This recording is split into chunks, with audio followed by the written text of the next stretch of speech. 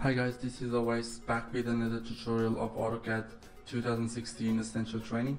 In this video I'm going to talk about performing boolean operations on region. So let's get started. I'm going to go and draw a circle, size doesn't matter, and then I will draw a rectangle next to it. And let's draw ellipse. About that.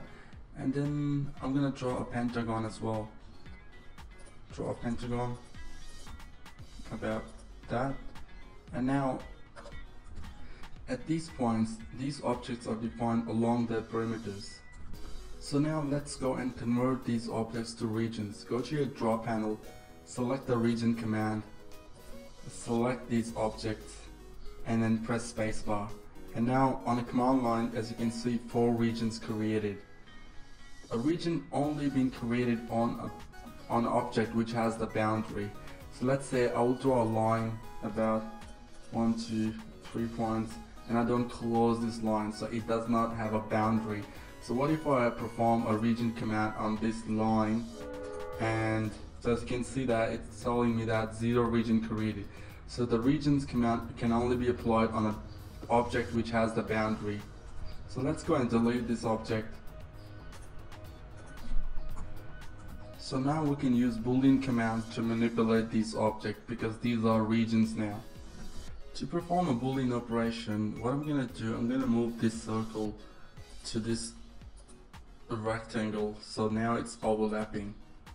So there's a command called union. You type union, press spacebar, and now select these two objects.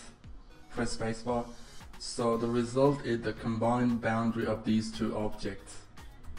It wouldn't be possible before when we had a rectangle and, just, and a circle because these objects were not a region object. So there's another command called intersect.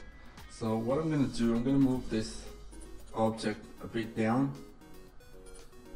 and then I type intersect, enter and select these two objects.